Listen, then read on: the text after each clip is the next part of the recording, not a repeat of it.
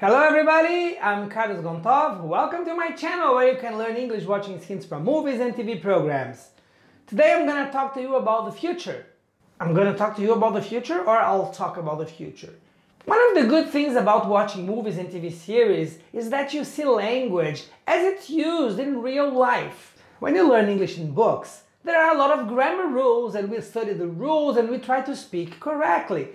But in real life, people don't always follow the grammar rules. For example, when you study the future, you learn the difference between will and going to. And we learn that we use will when we make a prediction or when we decide something at the moment of speaking. And that we use going to when something has been decided before, when it's a plan. This is all right, but in real life, people sometimes mix them up. It's very common in a conversation you see people ask a question with will and the other person answers with going to, or vice versa. Let's take a look at some scenes. See if you notice the use of will and going to. This is my agent, so I have to take this. Um, I'm sorry about that. I'm, I'm gonna cook you dinner, okay? I'll make dinner, okay? Is she gonna be okay? Yeah, she will. He's gonna leave me. He won't. Yeah, he will. He is. I mean, I know it. If I'm working with her and sleeping with you, she's going to figure it out. She won't. She will. Just tell me that you will fix it, okay? Just tell me that. I'm going to fix it. Grandma be okay? Of course, baby. Everything's gonna be just fine.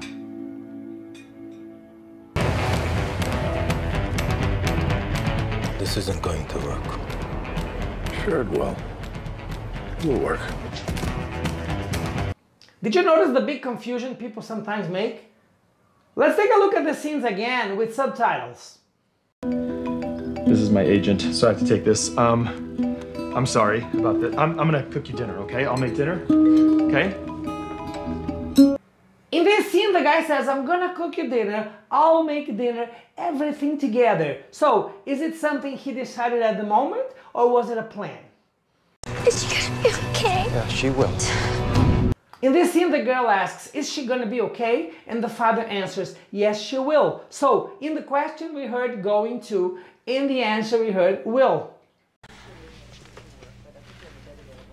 He's gonna leave me. He won't. Yeah, he will. He is. I mean, I know it.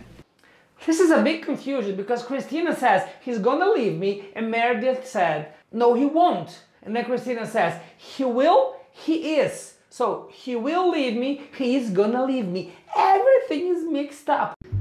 If I'm working with her and sleeping with you, she's going to figure it out. She won't. She will. Again, we have a mixture of will and going to. She's going to figure it out. She won't, she will. Just tell me that you will fix it, okay? Just tell me that. I'm going to fix it. In this scene, Alicia says, Tell me that you'll fix it. And Peter says, I'm gonna fix it. So the first sentence had will, the second sentence had going to.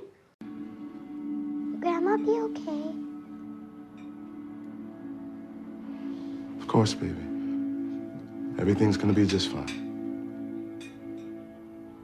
Here she says, Will grandma be okay? And he answered, Everything's gonna be fine. So will in the question, go into in the answer.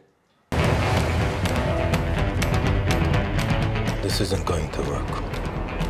Sure it will. It will work.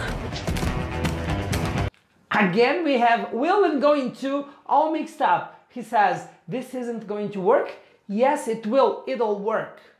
When we study English in books, we have a lot of rules, everything is very organized, but real life is messy sometimes, and it's okay. Look, I'm not saying that grammar is not important. Grammar is important. It's important to know the rules, it's important to know how to speak correctly, and it's important to know how to write correctly.